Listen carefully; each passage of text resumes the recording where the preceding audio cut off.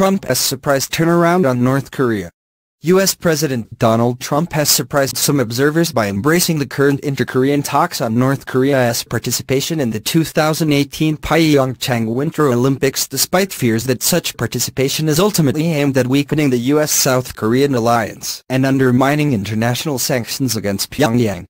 Senior U.S. officials have welcomed the inter-Korean dialogue as a break from the escalating war of words between Washington and Pyongyang that has raised tensions in recent months and prompted talk of the U.S. launching a preventive war to destroy North Korea's nuclear facilities. U.S. Defense Secretary Jim Mattis, General Joseph Dunford, the chairman of the U.S. Joint Chiefs of Staff, and U.S. Secretary of State Rex Tillerson have all argued strongly for a diplomatic solution to the North Korean nuclear crisis.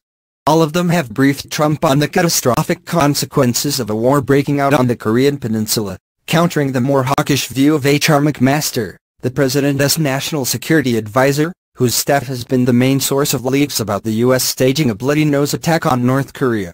Those briefings have likely persuaded Trump to scale back his harsh rhetoric against North Korean leader Kim Jong-un and agree to delay annual joint U.S.-South Korean military exercises until the beginning of April after the Winter Olympics are over. Trump said that he is ready to negotiate with Kim under the right conditions. Trump also views the resumption of inter-Korean talks as a vindication of his earlier tough stance on North Korea.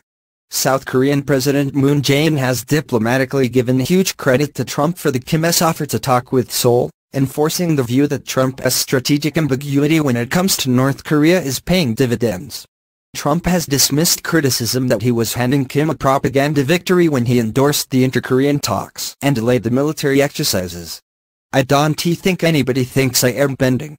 I think that people think that, if anything, I am being too tough, Trump told the Wall Street Journal last week, adding I think it would be totally inappropriate to hold the exercises during the Olympics. Asked by the WSJ if he thought North Korea was trying to drive a wedge between Washington and Seoul, Trump replied, I will let you know. But if I were them I would try. But the difference is I am president. Other people aren't T. And I know more about wedges than any human being that has ever lived. In discussing his earlier combative stance against Kim, Trump explained, You'll see that a lot with me and then all of a sudden I am somebody as my best friend I am a very flexible person. Analysts see little danger for now of North Korea's participation in the Winter Olympics weakening the U.S.-South Korean alliance. I think we would have had the same thing happening if Park Geun-hye was still in power and Hillary Clinton was president, says a consultant who advises the Pentagon on Korean affairs. They would have also taken advantage of this opportunity to de-escalate tensions resulting from the North's accelerated nuclear program. Both Washington and Seoul have emphasized they are closely cooperating on North Korea. Moon stressed, South Korea is not intending to ease sanctions on North Korea unilaterally and separately from the international sanctions.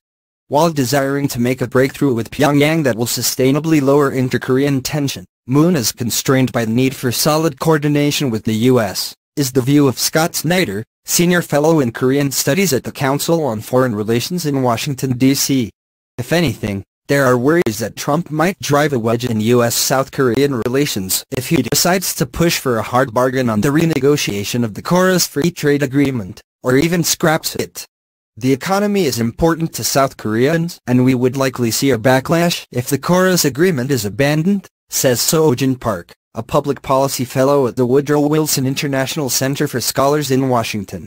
Another potential cause for dispute between the U.S. and South Korea is upcoming talks on a new defense burden-sharing agreement, although Seoul is likely to mollify Trump by ordering more weapon systems from the U.S. The current inter-Korean detente is likely to go only so far. With North Korea already complaining about media coverage in South Korea, there is the possibility that Pyongyang will overplay its hand and cancel its agreement to participate in the Olympics at the last moment or recall its athletes after they arrive because of perceived slights. In the end, Trump has probably made a smart move to support the inter-Korean dialogue because it shows that the U.S. is a friend, not an enemy, of the Korean people. This counters North Korea's propaganda that the nuclear issue can only be solved between the two Koreas. If the current talks collapse due to Pyongyang's obstinance, it would reveal North Korea as the guilty party, not the U.S. And if they continue beyond the Olympics, that could open the way for direct talks between Pyongyang and Washington that might include a freeze on joint military exercises in return for a halt to North Korea's nuclear